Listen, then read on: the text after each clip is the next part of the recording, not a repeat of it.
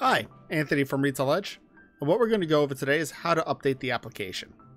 To update RetailEdge, locate the icon on your desktop, right click on it, select Run as Administrator, and on the prompt for the update, go ahead and select Yes. Here on the Program Updates window, you can go ahead and review the patch notes for the update And when you're ready to do the update, go ahead and select the update button.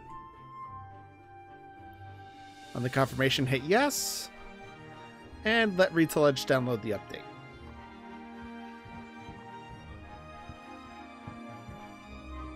Once the update is complete, go ahead and hit exit on this window. Next, when you relaunch the program, you can get prompted to update the database server. Go ahead and just hit exit on that window.